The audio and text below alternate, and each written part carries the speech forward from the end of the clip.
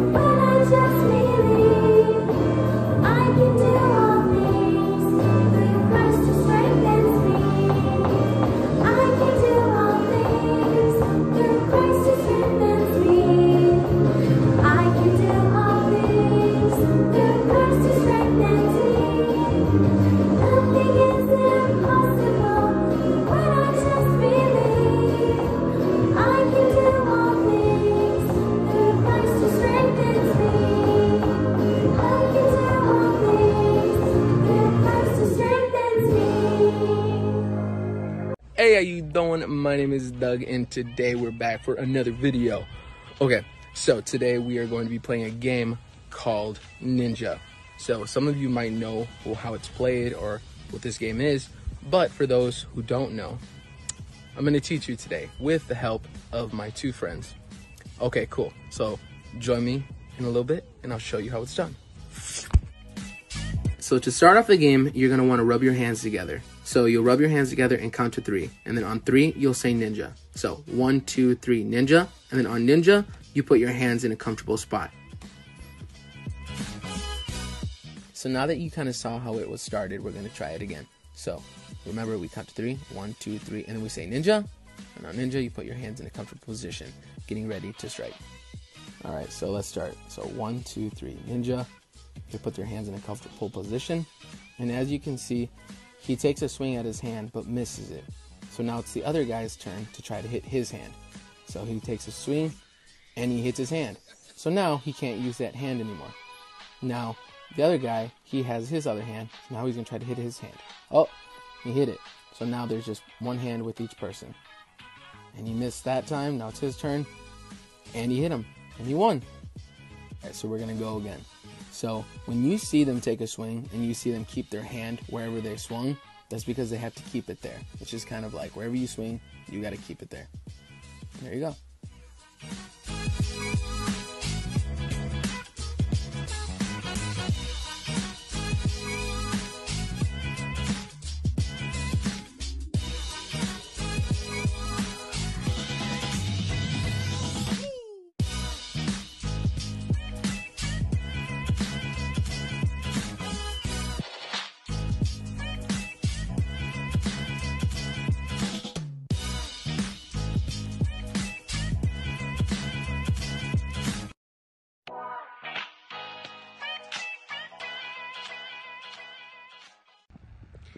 Sister Libby here is about to get really buggy.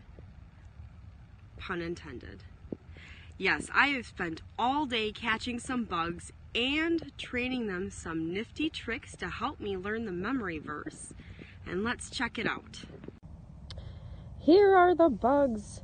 They have been trained to hold a word that's part of our memory verse. So together we can create the memory verse. Well, we all see it's found in Psalms 46 1. Now we just have to create it. Can you help me? What's the first word? It's God. God is what is our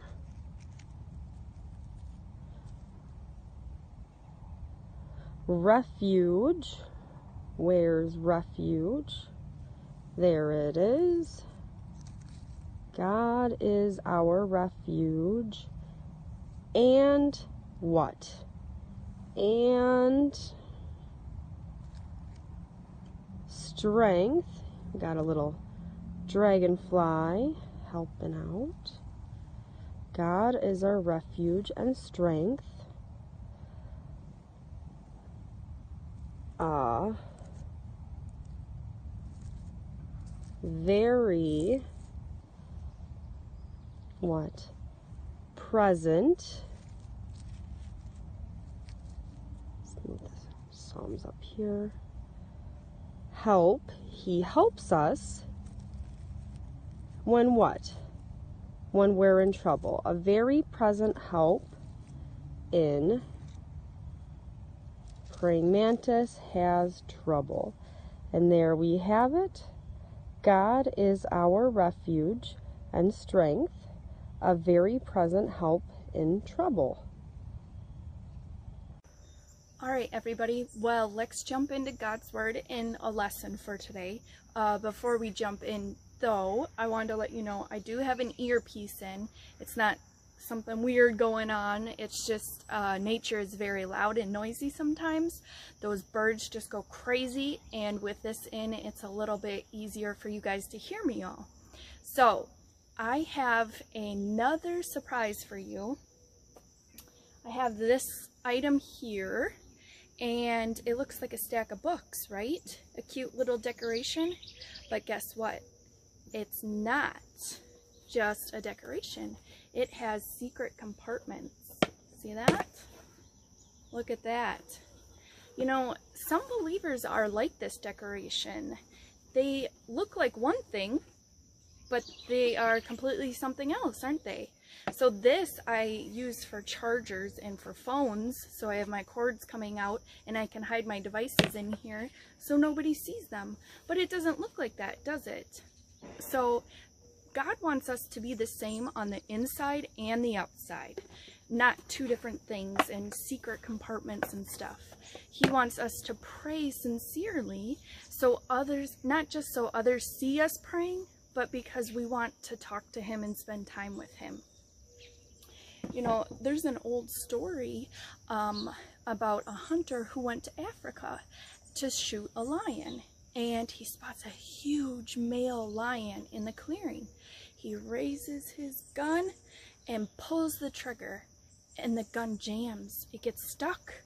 All of a sudden, the lion hears the click and begins to charge the hunter. The hunter tries to run, but guess what? He trips over a log and knocks himself out. When the hunter wakes up, he sees the lion lying next to him and the lion has his front paws folded together like he's praying and he's looking to heaven. The hunter realizes the lion must be a Christian lion too, and he's praying that the hunter will be okay. Thank you for praying and not eating me, says the hunter. And the lion shushes the man. Shh, shh. He says, then he prays, Lord, thank you for this food. Amen. Sometimes things aren't what they seem, are they? The hunter thought that the lion was praying for him to be okay, but instead he was praying that the Lord would bless his meal, the man. So, um, even though the praying lion looked like he was concerned about the hunter, what he really wanted was for God to bless his food. The same thing can be said for today's insect. I don't know if you've ever seen this guy before, He's sort of rare. I only have seen one or two of them in my lifetime. It is the praying mantis. So, you see how his front arms are sort of folded here? Sort of looks like he's praying, doesn't it? Um, please beware. If you see one of these guys out in nature, I will let you know. These are claws and they will latch onto your finger. So probably use a stick to try to get to him because he does not like to be touched or picked up. So if you see these guys, it's cool to explore, but be careful because they are insects that like to latch on you very tightly and it could hurt. So this guy looks like a praying creature, doesn't he? Simple and harmless, but he's not. He is a hunter and he preys that's where he gets his name praying mantis is from his hands and he also preys on other insects and other bugs. And today we're going to talk about the bible introduces two characters and on the outside one of them looks holy and wonderful and upright and the other looks like a sinner. But jesus tells us a lesson and reveals that they aren't what they seem and God's not satisfied with people that look holy on the outside and aren't holy on the inside. So let's read, we're going to read in Luke chapter 18, verse 19, or I'm, I'm sorry, 9 through 14. And it's the parable about the tax collector and Pharisee. Parable means lesson or story. And here we find Jesus speaking to the crowd and he's telling them about this um, parable, this lesson. And he also told this parable to some who trusted in themselves that they were righteous and treated others with contempt. So this is talking about Jesus. He was telling these people who trusted in themselves, they thought what they did was right all the time. They were righteous and treated others horrible. That's what that introduction says.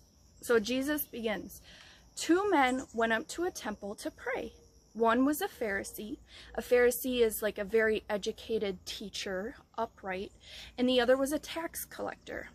The Pharisee, standing by, him say, by himself, prayed thus, God, I thank you that I am not like the other men, extortioners, unjust, adulterers, or even like this tax collector. I fast twice a week and I give tithes of all that I get.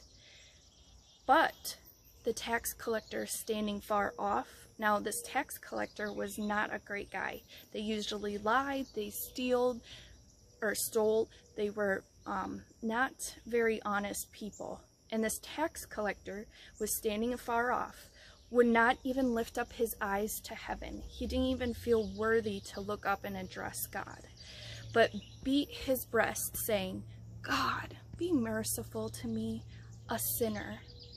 I tell you, now this is Jesus saying, I tell you, this man, the tax collector, went to his house justified rather than the other. For everyone who exalts themselves will be humbled, but the one who humbles himself will be exalted. So the people listening to Jesus' parable, the tax collector was one of the worst people that you could imagine, like I was saying. Um, they were known to lie, steal, and cheat. And they were dishonest. And they also got very rich from doing this. The Pharisee, on the other hand, was someone that was a kind per was the kind of person that was associated with being holy and just. You would see them and say, "Oh man, that person has it together." They just they look like they talk to God directly every day. Um, so they would serve in the temple and they were charged with, they were told in charge of teaching people about God. So why does Jesus say the tax collector, not the priest, pleases God? It's because God doesn't look on the outside. He looks at our hearts. It's not enough to look like people pray or to tell other people that we will pray for them but God wants us to pray. Um, God wants us to be sincere about what we do. We need to do it wholeheartedly and for Him. Jesus' parable reminds us that there's a big difference between looking like a believer and being one. Don't just look the look, you gotta walk the walk. So you can dress up on Sunday, you can sit down in front of church, in front of everybody. During worship, you can sing as loud as you want, you can dance all around, but you can put money in the offering for everybody to see. But you need to realize that the important thing is what you do behind the scenes. If you're doing that with your whole heart and you're doing it honest, that is wonderful. But if you're just doing it so other people can see that you did it and you can brag to other people, well, I put $5 in the offering for Sheaves for Christ this week. How much did you put in, Sally? You only put that quarter in. Guess what? That may have all been, or that, maybe that's all that Sally had. And she gave all. And you had $25 and you only put $5 in. So even though it was a more amount of money, it didn't mean as much as Sally's because she gave it wholeheartedly and she only did it to please God. She didn't do it to show everybody. So we need to become an authentic believer and it starts and ends with prayer. We need to pray daily, not just when we say, oh, I'll pray for you because you need it, and then we walk away and we don't pray for them. When someone says, oh, can you pray for my arm? I fell and broke it. And they're like, okay, sure, yeah, I'll pray for you, but you never do. So we need to pray that God would help us change from the inside out. So let's go ahead, let's say a quick prayer here, and we're just going to pray over you this week that God would show us. Sometimes we do these things and we don't even realize we're doing them. So let's um, pray and ask that God would show us if we are doing something that we shouldn't or doing something um, for show. All right. Lord, we thank you for today. I thank you for every child and every person that is able to attend with us. I pray that you would touch each one of us this week. Show us if there's anything in our hearts that shouldn't be there. God, things that are we are doing for show and for other people. Help us to see those things and to realize that we need to do them for you. God, we ask that you would be with us this week and continue to walk with us. Help each one of us to pray to you sincerely every day and to talk to you. And we thank you for all that you are doing at this time. And we thank you for everything that you have provided for us. In Jesus' name, amen. All right. Thank you so much for tuning in, and we hope to see you next week. Until then, take care and continue to remember to be sincere this week.